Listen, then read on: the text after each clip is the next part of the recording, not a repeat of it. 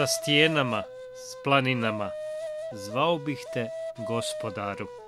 Sa pticama u svitanja, zvao bih te gospodaru. Idris a.s. je jedan od prvih poslanika koji se spominju u Kur'anu. Idris a.s. je Muhammed a.s. sreo u noći mi rađa, znači na četvrtom nebu sreo Idris a.s. sa njim razgovarao i Idris a.s. je zaista uzdignut na nebesa davno prije Isa a.s. koji je također uzdignut. Idris a.s. je jedan od prvih poslanika. Jako je zanimljivo da i stari Grci imaju predaju Idrisu a.s. čak što više nazivaju ga treći veliki učitelj. Dakle, on je treći veliki učitelj jako je zanimljivo da su Grci sačuvali veliki broj izrijeka Idrisa a.s. a njegove izreke su čista mudrost. Idris a.s. Dakle, dolazi u petoj generaciji od Adem a.s dolazi kao vladar svog naroda i Božji poslanik, on vam je uz šita ali selama primjer takozvanog trianglijskog Allahovog poslanika. Dakle, insana, čovjeka koji u isto vrijeme i Allahov poslanik i vladar, dakle, kompletnog naroda i treća vrlo značajna komponenta da je on mudrac. Znači, vrhunski je mudrac svog naroda, tako da je sve tri ključne komponente objedinio kod sebe u jednoj. U kasnijim vremenima će doći Boži poslanici koji su bili samo Boži poslanici.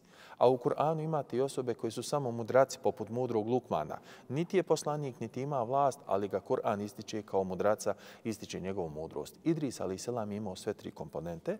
Idris a.s. ima jedan jako veliki i težak zadatak. Naime, on je zatekao čovječanstvo podijeljeno u dva velika plemena.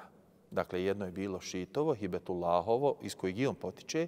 Ogromna većina naroda je bila u tom plemenu. Međutim, drugo je bilo Kabilovo pleme. Dakle, ona isti bratubica koji je oteo svoju sestru, dakle, prevario je, poveo je sa sobom. Od njih dvoje će iz najgorujeg incesta, znači, nastati kompletno čovječanstvo, ta jedna njegova grupacija i njegov život će biti okrenut potpuno strastima. Sam njihov fokus u životu je bio dakle, uživanje u strastima, jedna apsolutna raskalašenost i jedno potpuno odsustvo vjerovanja u dragog Boga u dušama tih insana. Imali su oni dakle uživanja na pretek, međutim vjera im je bila potpuno sporedna komponenta uz vrlo značajnu naznaku i dalje se smatrali vjernicima i niko od njih nije osporavao Allaha Đalešanu.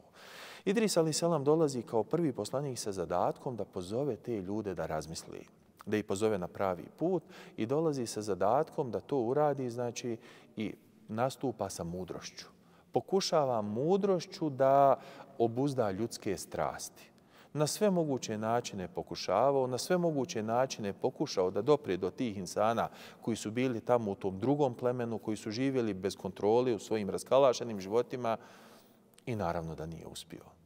Dakle, zato što kad se čovjek preda strastima, strasti su slijepe, on jednostavno zatvara se u taj svoj krug i tu mudrost jednostavno teško dolazi čak znači, do, do takvih duša. Čak i mudrost jako, jako teško dolazi. On nije uspio promijeniti te ljude generalno zato što dakle, vrata promjene dolaze iznutra a čak i mudrost kad pokuca na vrata nekog insana nije garancija da će se čovjek promijeniti dok sam čovjek ne donese odluku da se promijeni. Ovdje moramo navesti definiciju mudrosti koja će ljudima sve pojasniti. Dakle, mudrost je raspored stvari, prava stvar na pravom mjestu. Ko ima sistematičan život, ko sve fino lijepo poreda, Dakle, taj čovjek se smatra mudracem A ključni moment poredka jeste staviti, dakle, odrediti mjesto za gospodara svjetova na prvom mjestu, drugo, odrediti mjesto za sebe, treće, odrediti mjesto za ostale ljude u našim životima i treće, odrediti, se sprem prirode, sprem ekologije, sprem životne sredine u kojoj živimo. Insan koji je sve to fino, lijepo poredao, taj insan živi mudrim i harmoničnim životom, za razliku od insana koji se prepuštaju strastima i koje osim uživanja apsolutno ništa drugo ne interesuje i koji su bahati sprem tuđih prava i drugih stvorenja na ovoj zemlji.